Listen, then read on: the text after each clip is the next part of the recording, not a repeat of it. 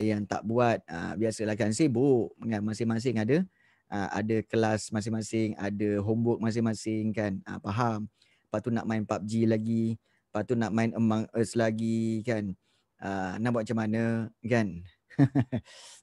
Ah ada yang kena ada jaga anak kan. Baby kecil lagi nak buat macam mana kan? Kena faham lah okey baik. Dua undang-undang yang tersohor soalan nombor satu. Dua undang-undang yang tersohor dari Kesultanan Melaka ialah Kesultanan Melaka, Hukum Kedah Melaka dan Undang-Undang Melaka. Okey, daripada Iskandar. Okey, Iskandar. Okey, soalan satu dapat dua markah. Soalan dua, kandungan penting dalam Hukum Kedah Melaka. Okey, satu, Hukum Islam. Okey, uh, okey. kemudian uh, 25 fasal menerangkan. Alright, di sini kamu membawa empat markah kat situ. Okey, tak apa, tak apa Fidaus. Kemudian soalan yang ketiga, kepentingan undang-undang. Okey, uh, dapat mengatasi jenayah di negeri Melaka okey mewujudkan keamanan dan menjamin keselamatan.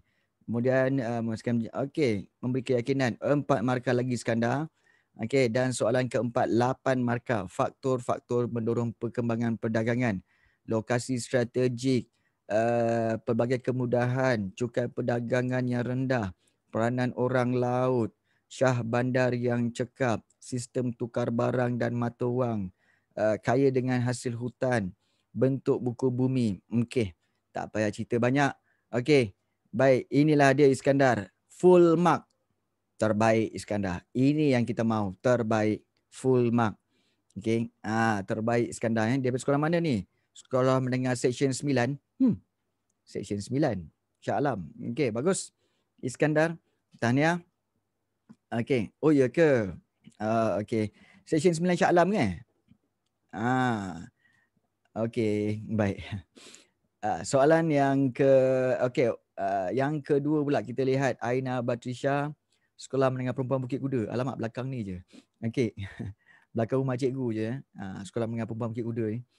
Okey, uh, hukum kanun Melaka dan juga undang-undang laut Melaka bagus tapi kamu tak buat ayat.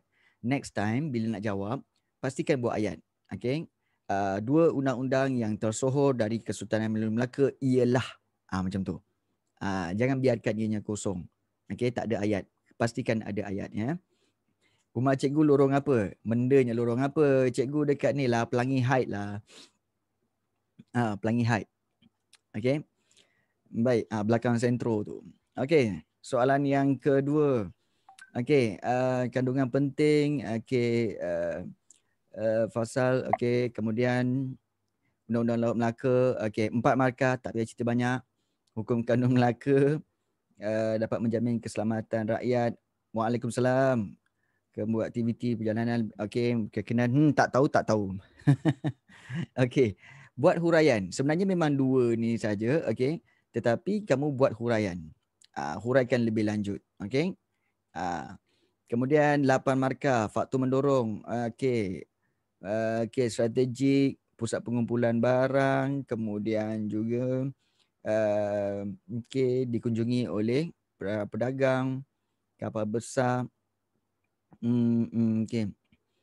okay, saya jawab je tahu cikgu kalau salah jangan marah. Pula.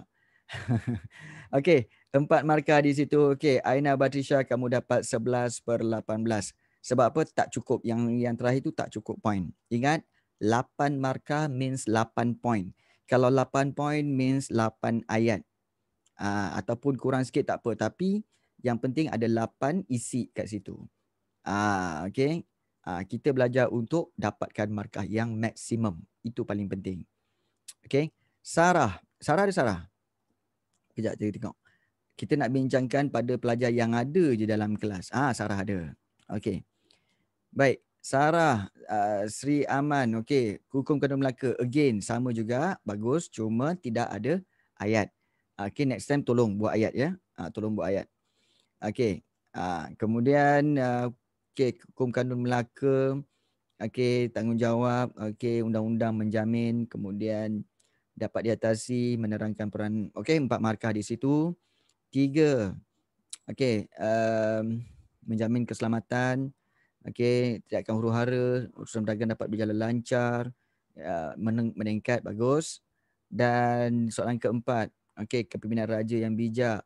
Okey, undang-undang perdagangan yang ketat. Okey. Okey, kemudian juga okey, huraian perdagangan mencekap. Okey.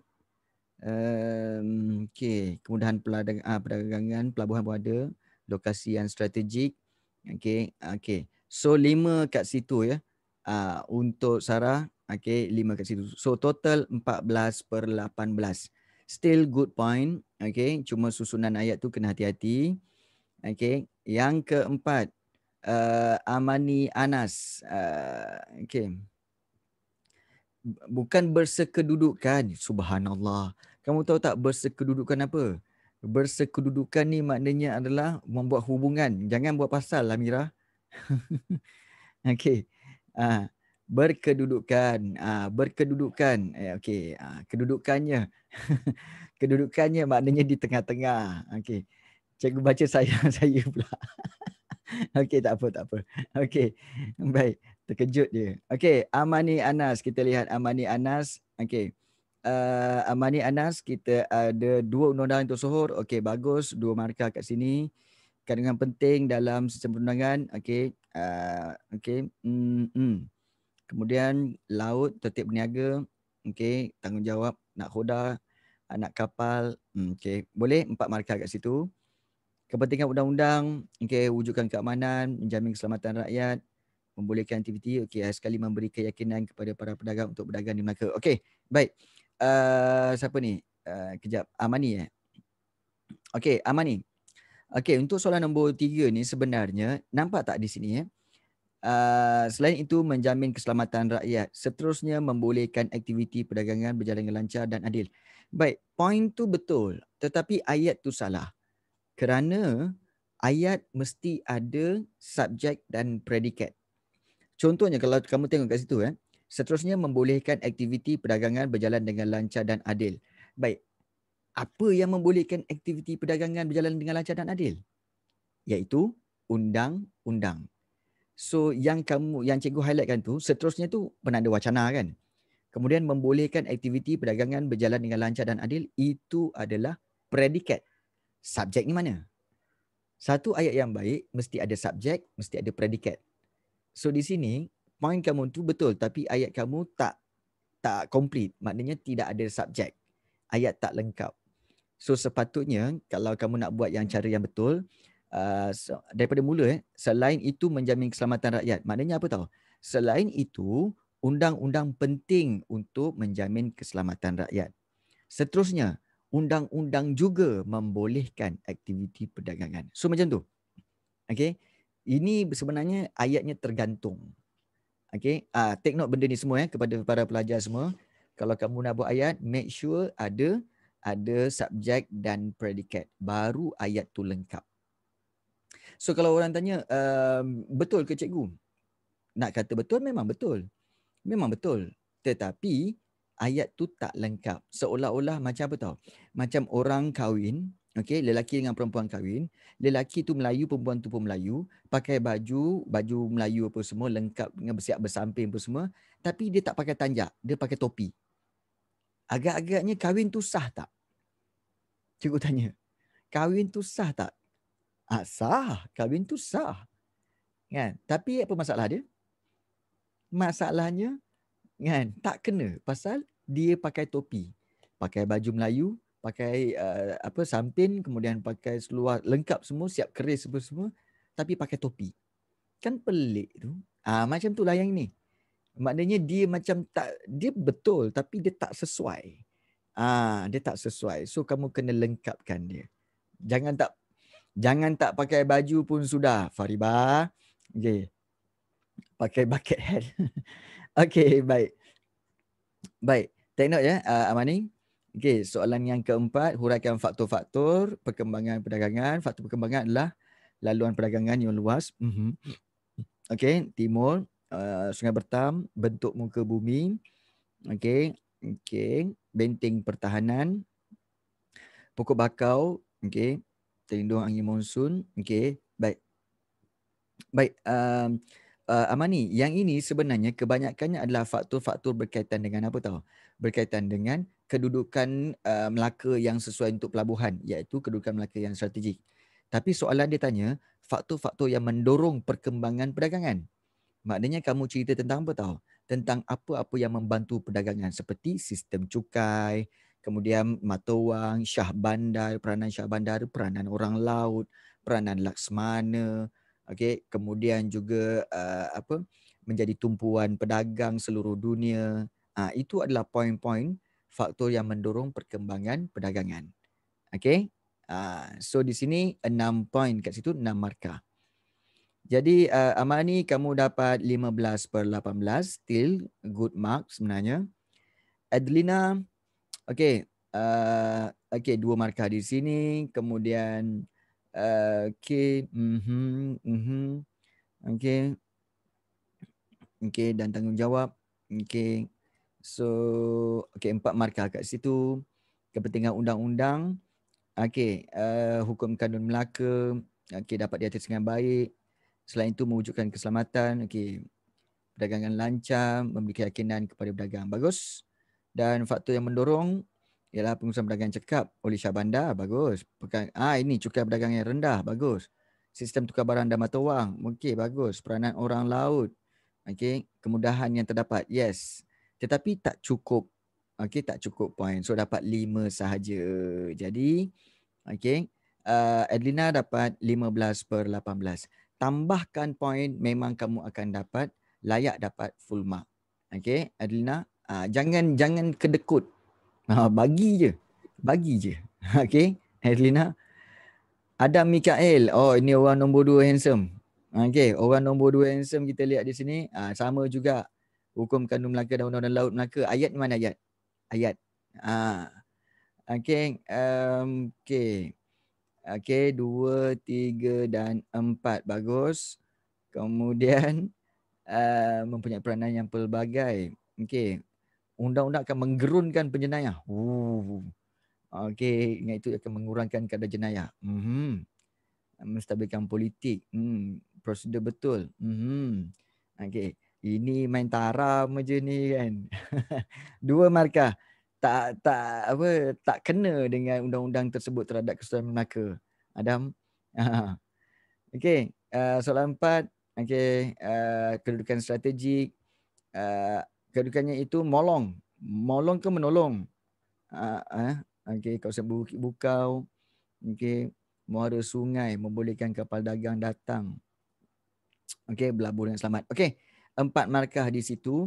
Maknanya ada Mikael kamu dapat 11 per 18. Harap berpuas hati eh. Okey. Ahmad Amjad. SMK Sungai Ramal. Okey, dua undang-undang, dua markah. Kandungan penting uh, dapat wujudkan ini bukan kandungan, ini kesan. So kamu tak menjawab soalan Ahmad Amjad. Okey, dia minta kandungan, apa isi kandungan dia? Uh, okey. Tiga, kepentingan undang-undang ini. Okey, panduan uh, dapat diatasi. Okey. Hmm, okey. So kepentingan ini dapat dua sahaja. Okey. Kerana tidak ada huraian yang selebihnya yang lengkap dan soalan yang keempat okey, uh, kekayaan sumber asli. Mhm. Uh, peranan orang laut. Okey. Uh, kemudian kemudahan perdagangan dan pentadbiran perniagaan. Okey. So lima kat situ. Okey. Jadi Ahmad Amjad kamu dapat 9 per 18. So kekurangan, kebanyakan jawapan-jawapan kamu kurang uh, daripada peruntukan markah. So kena tambahkan lagi. Okay, tambahkan lagi ya Ahmad Amjad. Amirah, ni Amirah Comel ke? Okay, SMKTM, uh, Sekolah Menengah Kereta Api Tanah Melayu. Eh bukan, Sekolah Menengah Kebangsaan Taman Melawati. Uh, Kereta Api Tanah Melayu pula. Kan? Uh, kita lihat di sini, dua undang-undang, okey, dua, kemudian dua kandungan, 44 fasal, yes. Okey, hukum kanun Islam, dua kandungan Laut Melaka, okey, peranan anak khoda, yes, empat markah. Okey, mewujudkan keamanan, keselamatan, memastikan jenayah dapat diurus, kepentingan undang-undang Laut Melaka, menjamin kelancaran. Okey, memberi keyakinan pada pada pedagang, empat.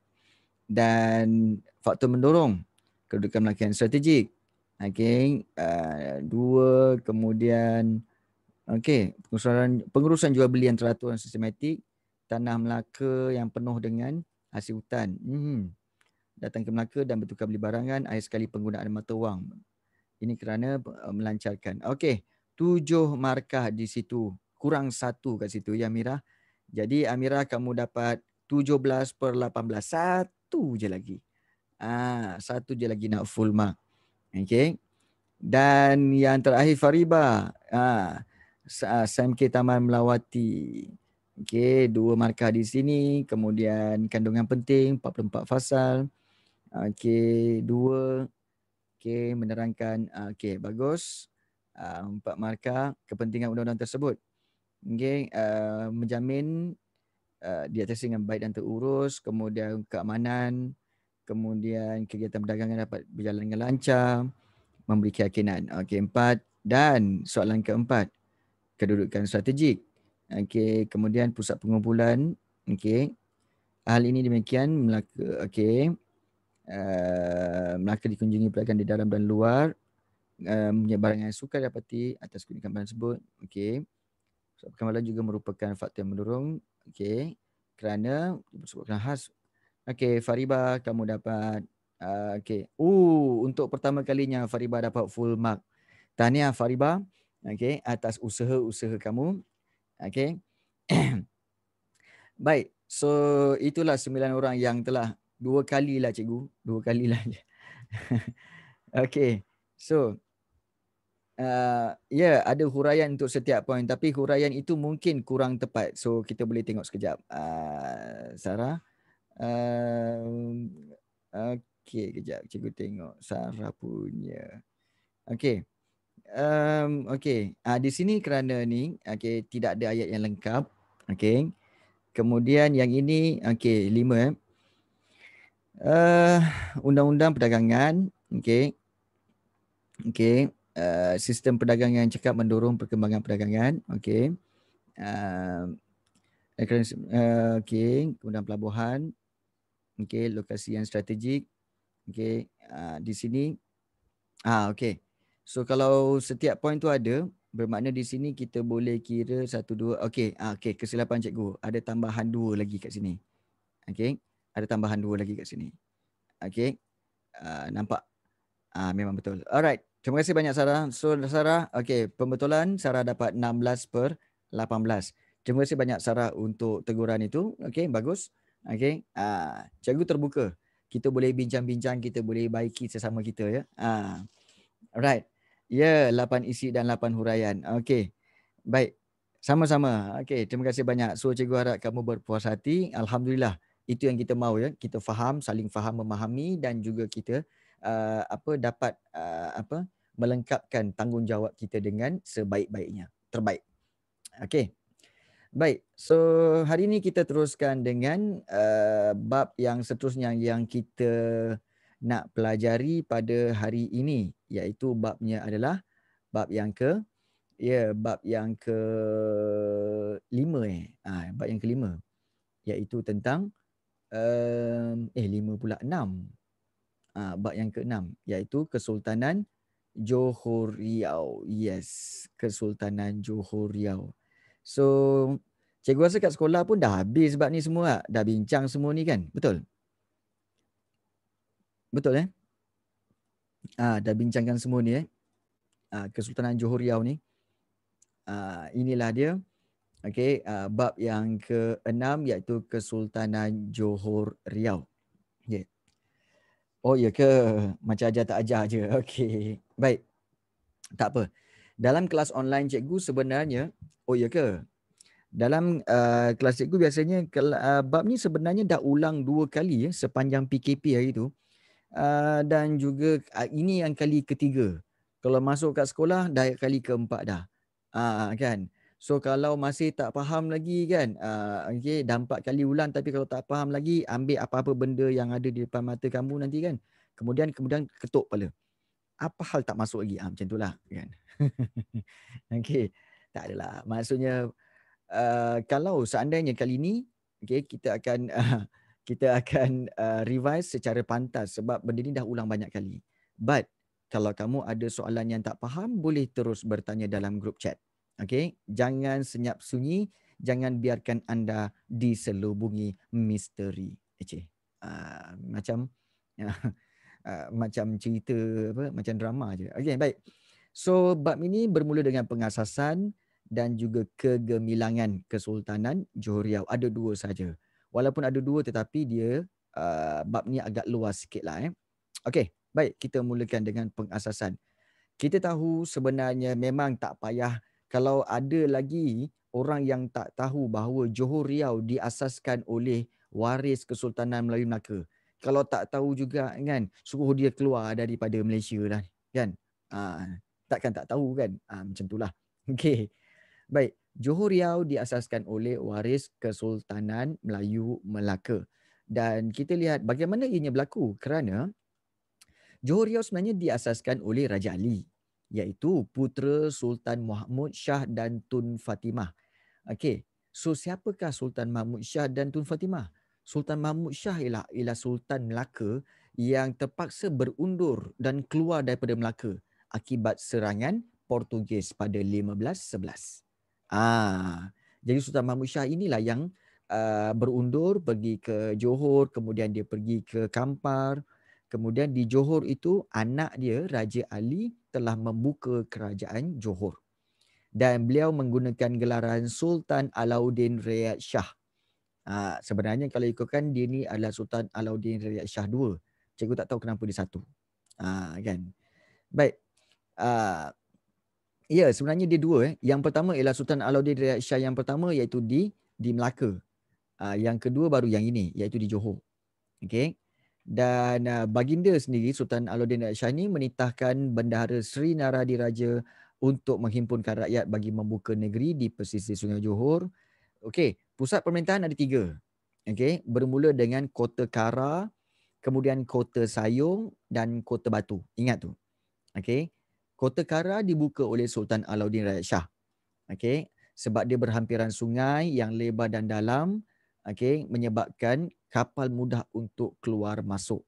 The problem is bila mudah kapal keluar masuk maka mudah juga untuk Portugis menyerang okey uh, menyerang jadi menyebabkan okey kalau kita lihat uh, kota Kara uh, di Pekan Tua telah diserang dan dimusnahkan oleh Portugis menyebabkan Sultan Alauddin Riyad Shah berundur dan buka semula di kota Sayung kali ini kota Sayung lebih selamatlah sebab sungai dia sempit pula uh, tadi sungai lebar dan dalam tapi oleh sebab kena serang selalu dengan ya, Portugis, maka dia buka tempat yang baru tapi kali ini cari sungai yang lebih sempit supaya menyukarkan kapal perang musuh untuk melaluinya dan menyerang. Okay. Kemudian pusat pemerintahan kota baru yang uh, ketiga iaitu again Sultan Alauddin. Sultan yang sama eh, memindahkan tiga kali pusat pemerintahan eh, Sultan Alauddin Rakyat Shah ni. So mula-mula kota Kara, kota Sayung, kota Batu. Dan di kota Batu Okey. Dan kawasan ini dikenali sebagai Tanjung Batu dan kedudukannya strategik kerana terletak berhampiran Sungai Johor yang lebar dan dalam dapat memudahkan kemasukan kapal dagang. Ah macam-macam. Ah, sekejap nak ah, sekejap nak buat di Kota Kara iaitu sebab sungai yang lebar dan dalam. Kemudian di Kota Sayung sebab sungainya sempit. Kali ini pula Kota Batu sebab sungainya ah, lebar dan dalam pula. Ah, bertukar-tukar. Ah, okey. Ha, itulah. Ingat eh, Kota Kara, Kota Sayung, Kota Batu. Tiga eh. Baik. Kemudian uh, keturunan Kesultanan Johor Riau, okey. Johor Riau diasaskan oleh Sultan Alauddin, okey. Kemudian sehingga tahun 1699 uh, Johor Riau diperintah oleh waris keturunan Kesultanan Melaka. Tapi bermula 1699 Johor Riau diperintah oleh Sultan berketurunan bendahara. Kenapa berlaku ini? Kerana video pertama tadi. Iaitu video pertama cikgu tulis apa? Iaitu cikgu tayangkan tentang Sultan Mahmud mangkat di Julang. Ah, bila Sultan Mahmud mangkat di Julang itu kan dibunuh kan? Ah, dibunuh maka dia tidak ada waris. Bila tidak ada waris maka yang naik menjadi sultan ialah benda bendahara. Sebab itu bermula pada tahun itulah bermulanya pemerintahan oleh bendahara Johor menjadi sultan. Okey? Baik, boleh faham eh? Baik. Apakah cabaran-cabaran kerajaan Johor Riau? Baik, cabaran ni sebenarnya ialah masalah-masalah eh. Cabaran ni maknanya masalah ataupun nama lain dia halangan. Halangan-halangan kepada kerajaan Johor Riau. Masalah-masalah yang dihadapi oleh kerajaan Johor Riau atau cabaran-cabaran yang dihadapi oleh kerajaan Johor Riau. Okey, sama je. Okey, iaitu kau tak yang tanya why. Okey. Uh, tak ada. Uh, dia tanya why bendahara keturunan Johor sampai sekarang. Tidak. Sebenarnya kan Fariba, okey. Uh, sekarang ni even Sultan Johor sekarang ni pun bukan keturunan bendahara lagi tau sekarang ni keturunan Sultan Johor tu sebenarnya adalah keturunan Temenggung. Bukan bendahara. Temenggung. Ah, itu pun ada cerita dia juga. Ah, yes. Temenggung naik menjadi sultan. Ah, betul. Temenggung sebenarnya. Ah, okey, tak apa tak apa. Itu nanti kita cerita kemudian eh. Baik. Cabaran kerajaan Johor Riau. Apa cabaran dia? Okey, ada empat. Persaingan Johor Aceh Portugis, Maknanya ini adalah perang, perang tiga segi. Eh. Kemudian perang Johor Jambi, ancaman Raja Kecil dan juga konflik pembesar. Okey, so itu empat cabarannya. So kita tengok. Eh. Cabaran kerajaan Johor Riau. Okey, cabaran kerajaan Johor Riau kalau kita lihat bermula dengan persaingan Johor Aceh Portugis. So ini dikatakan sebagai peperangan okay, yang berlaku antara Johor, Aceh dan Portugis dan ini dikenali sebagai perang tiga segi. Ingat tu, perang tiga segi ataupun perang seratus tahun. Dan dia berakhir pada 1641 bila Johor okay, memberi bantuan kepada Belanda untuk kalahkan Portugis dan menguasai Melaka. Uh, akhirnya Portugis kalah. Kalah dengan siapa? Kalah dengan Johor dan Belanda. Uh, jadi selepas itulah okay, uh, apa kemudian uh, Portugis dapat dikalahkan dan Aceh juga telah merosot akibat kemangkatan Sultan Iskandar Thani. So itu persaingan Johor Aceh Portugis.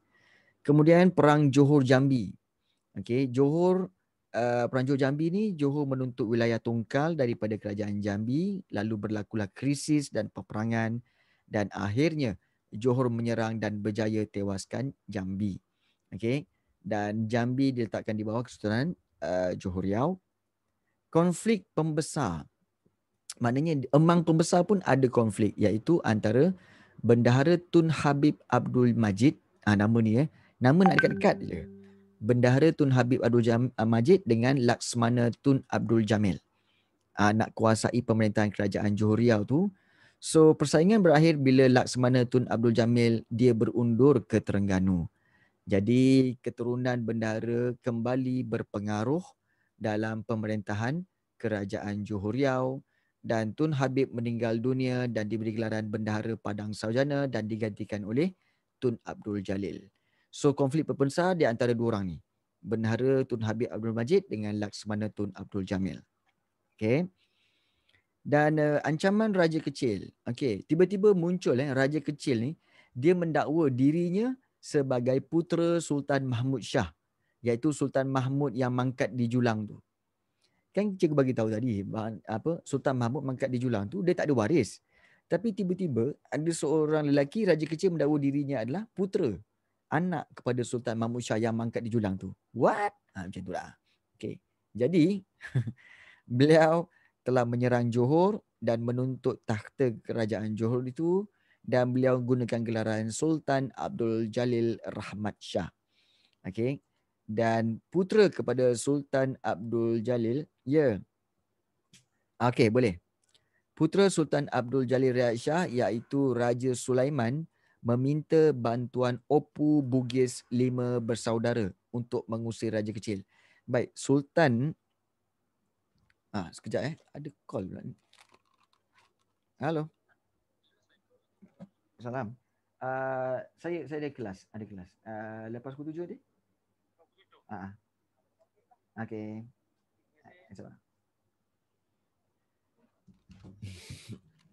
Alright. I want to number nine. Okay. Baik. So, kita lihat di sini. Okay. Sultan Abdul Jalil Riyad Shah ni sebenarnya adalah uh, dia adalah Sultan Johor yang asal. So, anak dia minta iaitu Raja Sulaiman ni minta bantuan Bugis lima bersaudara. Ah, uh, Bugis lima bersaudara ni hebat eh dia iaitu nama-nama yang bermula dengan Daeng. Daeng Merewah, Daing Perani, Daing Celak, Daing ke Kersani dan ada lagi Daing. Ada lima orang. Uh, dia macam macam hang tuah lima bersaudara lah. Uh, dekat Bugis ada uh, lima Daing ni. Okay. Dia dipanggil Opu Bugis lima bersaudara. Dan akhirnya Raja Kecil tu dapat ditewaskan.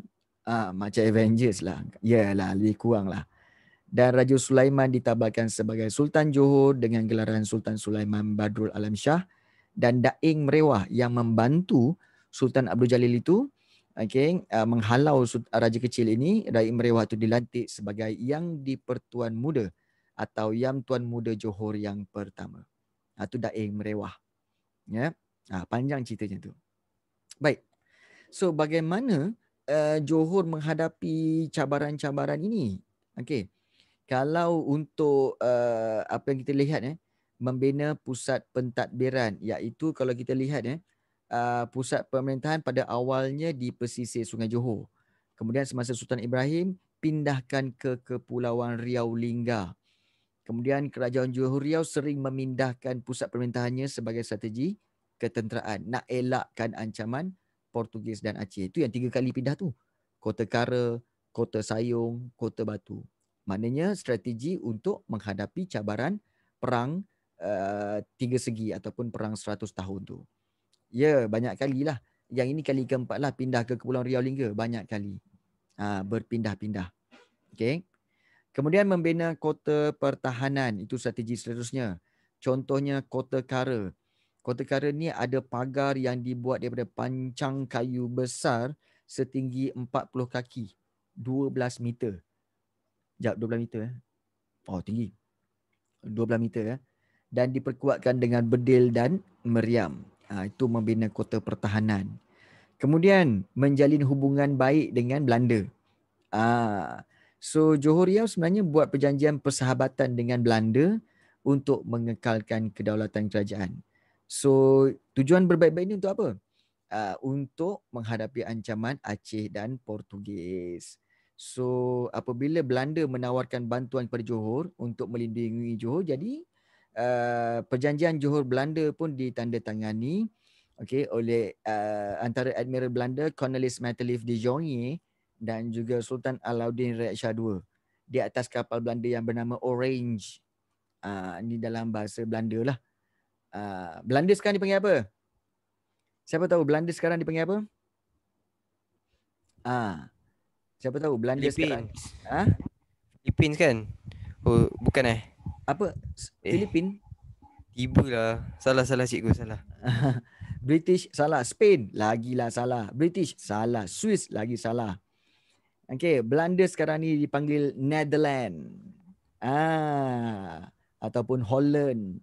Ah, siapa peminat Liverpool dia tahulah. Van Dijk. Ah, Van Dijk tu Netherlands lah. Ah, kan? Ah, tu Belanda. Uh, okay. Uh, baik. You never walk alone. Yes. Baik. So, Belanda minta bantuan Johor untuk menyerang Melaka dan Johor memberi bantuan. Eh. Uh, iaitu apa yang bantuan yang diberi iaitu peralatan perang, tapak meriam, gali parit kubu, sekat musuh lari ke dalam hutan, naikkan semangat tentera Belanda. Apa? Banyak Johor beri bantuan. Akhirnya berjayalah menewaskan Portugis. Uh, Ya, yeah. Johor tolong Belanda. Okay, uh, serang Melaka. Okay, uh, jadi untuk apa? Untuk dapatkan balik Melaka. Tetapi pada akhirnya, okay, Melaka ditadbir oleh Belanda. Ya, yeah. uh, yelah Melaka tu pada waktu itu di Melaka, hmm, korang ni. Melaka tu sebenarnya pada waktu itu dikuasai Portugis. Maknanya dia menyerang Melaka tu maknanya menyerang Portugis lah yang ada di Melaka. Ah. Ya, Mira, itu sebenarnya. Ah. Waktu ni kan Melaka dikuasai oleh Portugis.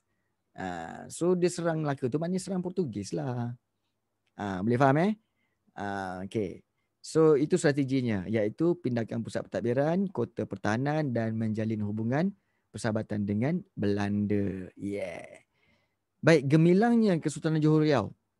Gemilang sebagai apa? Pusat perdagangan yang unggul. Sebab apa? Alah, seperti biasalah. Okey, serupa juga macam Melaka dulu. Okey, kalau Melaka kan kedudukan strategik, tumpuan para pedagang, pusat pengumpulan dan pengedaran pelbagai barang sama. Okey. Ah, kesibukan pelabuhan Johor Riau pun sama juga macam Melaka, sibuk juga. Ah, okey. Ah, jadi lebih kurang sama je. Kalau kita lihat uh, kedudukan strategik tu, okey, Sungai Johor yang lebar dan dalam. Ah, memudahkan kapal besar masuk kemudian membolehkannya mengawal lalu lintas kapal dagang. Pelabuhan Riau uh, terletak di persimpangan lalu lintas maritim yang strategik. Kedudukan strategik? Strategik sebab apa? Terletak di tengah-tengah laluan perdagangan. Tumpuan para pedagang? Of course lah. Tumpuan para pedagang semua daripada China, Gujarat, Inggeris, Belanda, Jawa. Uh, jadi menjadi tumpuan. Okay. Kemudian pusat pengumpulan dan pengedaran pelbagai barang. Okay. Pusat pertukaran barangan daripada China, India, Arab semua. Lada hitam, biji timah, emas. Okay. Uh, seperti biji timah, lada hitam. Kemudian kelapa kering, kayu gaharu. Hu. Okay. Banyak ni. Okay. Pelabuhan Batu Sawar menjadi pusat perdagangan. Beras dibawa oleh pedagang dari Jawa. Okay. Pedagang dari Gujarat bawa kain. Pedagang Siam bawa beras. Uh, maknanya pusat pengumpulan. Uh, punyalah sibuk. Okey uh, pelabuhan pelabuhan Johor ini ya. Dan kesibukan dia lebih kurang 500 hingga 600 buah kapal dagang pelbagai bangsa berlabuh di pelabuhan Johor ini. Uh, itulah dia. Macam-macam kapal ada Portugis ada Inggeris ada Siam ada. Uh, banyak. Jadi ya yeah, banyak banget. Yes betul. Ya tu Fariba banyak banget di sini Ya, ya. Kemudian begitu juga kita lihat pengurusan pelabuhan di sini ya. Uh, apa hebatnya pelabuhan Johor Riau ni? Okey, sebab mereka cekap okey mengendalikan barang dagangan. Kemudian mampu membekalkan semula kapal okey uh, dengan cepat dan murah. Kemudian pelabuhan dia ada apa? Ada gudang bawah tanah, ada pegawai terlatih, Okey, kemudian boleh membekalkan barang yang diperlukan oleh pedagang. Hu. Kan? Kalau kalau Melaka tak kalah dengan Portugis time tu apa jadi? Hmm. Mungkin kalau Melaka tak kalah dengan Portugis pada waktu itu, mungkin uh, Melaka akan meneruskan kegemilangannya lah. Okey, uh, kegemilangannya sehingga mungkin sekarang. Tapi kamu kena ingat eh, setiap yang bermula pasti akan berakhir. Ah, setiap yang bermula pasti akan berakhir. Ya. Yeah. Ah, jadi ya Melaka semakin popular. Ah, tapi itulah kan. Ah, senang cerita. Lah. Melaka sebenarnya, kamu tahu Melaka sebenarnya sejak daripada para mesuara membuka Melaka tu pada tahun 1500 ah, sorry 1400 1400 kemudian diserang oleh uh, Portugis 100 1511 bermakna berapa ratus tahun Melaka tu uh, popular? 111 tahun. 111 tahun. Lama tak? Lama. Ha. Cuba kita tengok sekarang ni. Kita Malaysia ni berapa tahun dah merdeka? Baru 63. Kan? 63 je. Tak sama pun macam Melaka lagi. Kan? Jadi, kita boleh popular boleh. 63 je je. Ha, kan? Jadi 63 so bermakna ada tak kemungkinan selepas ini bila kita mencapai 100 tahun nanti adakah kemungkinan Malaysia akan diserang ke ataupun di dijajah ke? Segalanya berkemungkinan. Ha okey? Ha, segalanya berkemungkinan. Bab kata drama itulah segalanya berkemungkinan. Drama apa? Drama Tamil pukul 7 petang. Ha Okey, seterusnya. Uh, urusan jual beli. Kita lihat uh, pengurusan pelabuhan ya. Urusan jual beli. Okey. So perdagangan menggunakan tukar barang dan juga mata wang. Maknanya ada sistem barter dan ada mata wang. Sultan Alauddin Shah lah yang memperkenalkan okay, mata wang emas yang dipanggil emas. Mata wang perak dikenali sebagai kupang dan mata wang timah sebagai katun. Tapi kupang ni masih digunakan sampai sekarang kan. Oh, orang-orang belah Perak ke belah Kedah kan. Berapa kupang hang beli? Ah, aku beli, uh, 10 10 kupang tu. Uh, 5 kupang, 6 kupang kan. Uh, itu belah utara lah, utara. Kan? Baik. Uh, kemudian mata wang asing turut digunakan ya. Ada dolar Spanyol, dolar Mexico, duit Belanda. Kemudian Syah Bandar uruskan sistem jual beli, kutip cukai. Cukai pula berpatutan. Uh, jadi memang baguslah okay, uh, pelabuhan uh, Johor Riau ni. Kemudian uh, ada sistem naungan ya, di mana Bendahara Temenggung Laksmana dan Raja Indra Bongsu memberi naungan kepada pedagang luar dan pedagang tempatan. Jadi, naungan ni maknanya perlindungan. Just in case kalau pedagang tu, contoh macam cikgu lah, eh, contoh lah macam cikgu. Cikgu nak berniaga kat Johor Riau masa tu. Cikgu sampai-sampai je kat Johor Riau, cikgu akan cari siapa yang aku, orang-orang pembesar kat sini yang aku boleh bernaung. Oh, jumpa bendara uh, tuan bendahara uh, patik nak bernaung di bawah uh, uh, apa tuan hamba lah tuan hamba bendahara sebab uh, apa better takut eh sorry better pula patik takut patik takut uh, apa uh, apa-apa hal berlaku pada patik so bendahara kata boleh? Jangan risau. Okey patik akan membantu tuan hamba untuk melindungi tuan hamba. Jangan risau. Tapi nanti tuan hamba bayarlah sedikit bayaran kepada hamba kerana memberikan perlindungan. So uh, cikgu kata oh okey nanti okey selepas habis uh, perniagaan nanti patik akan bayar sedikit ufti ataupun sedikit uh, yuran lah kepada kepada bendahara.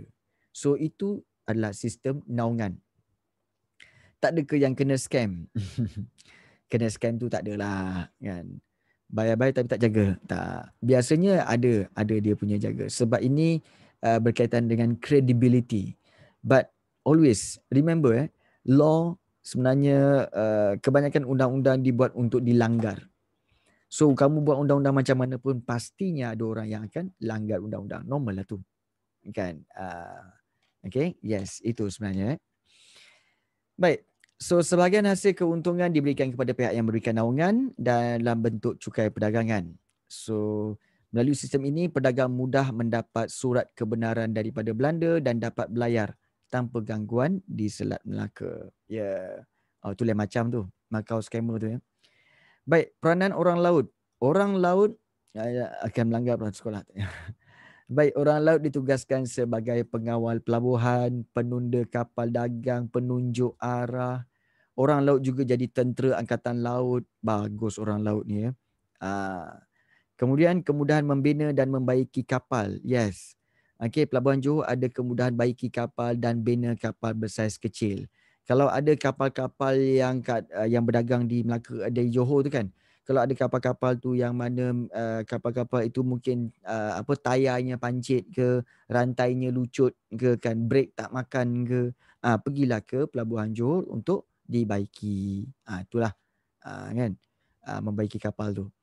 So orang laut mahir dalam pembinaan kapal So mereka buat kapal pesisir pantai seperti kolek, banting, penjajak, baluk dan juga pencalang. Dan inilah kemahiran yang membantu memajukan Kesultanan Johor Riau. Okay.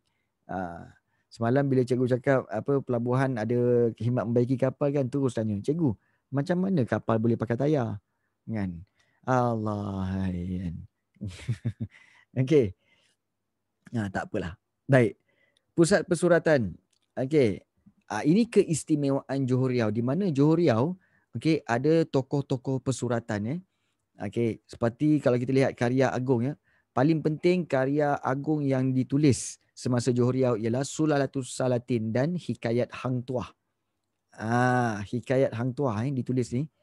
Dan ciri-ciri karya agung ni telah mencetuskan unsur pemikiran, nilai dan kepercayaan, falsafah dan pandangan bangsa Melayu, kemudian pencapaian yang unggul dan pemikiran dan pandangan hidup bangsa Melayu. Ah inilah dia. Uh, hikayat Hang Tuah dipercayai mula tulis sekitar 1700.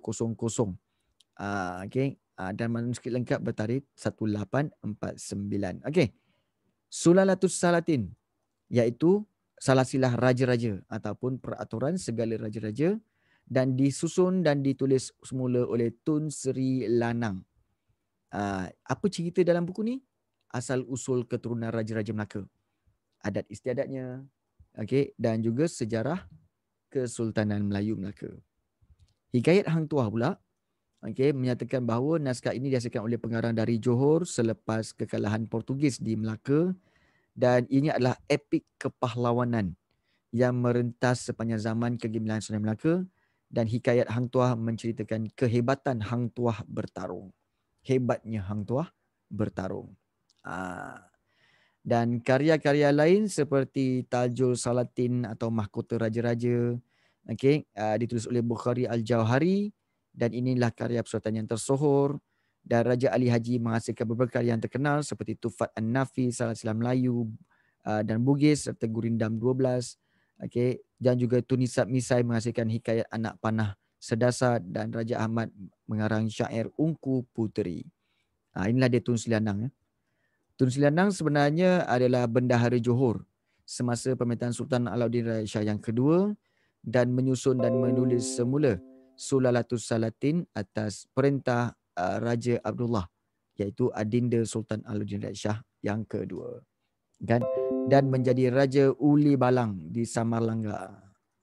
Okey, baik. So dengan itu maka tamatlah bab yang ke-6. Kesultanan Johor Riau. Dah tamat dah. Simple kan? Uh, very simple sebenarnya. Sebenarnya simple. Okay? Iaitu mula, bermula dengan pengasasan Kesultanan Melaka, eh, Kesultanan Johor Riau, kemudian cabaran-cabaran yang dihadapi, kemudian yang terakhir sekali iaitu berkaitan dengan ya, okay, dengan bagaimana kegemilangan Kesultanan Johor Riau. Memang habis dah habis. Cuma faham ke tak faham? Ha, Kang ada yang tak faham pula kan. Okey. Ada apa-apa yang tak faham boleh tanya sekarang. Ha, boleh tanya sekarang kalau ada apa-apa yang tak faham. Ha, Kaisara kata enggak ada. Ada Mikael kata pun enggak ada. Yang lain-lain bagaimana? Ha, ha, itu yang kita nak tahu. Singapura kat mana? Pula Singapura kat mana masa tu? Singapura sebenarnya di bawah Kesultanan Johor Riau lah. Ha, Johor Riau. Okey. Baik. Tadi Fariba ada tanya.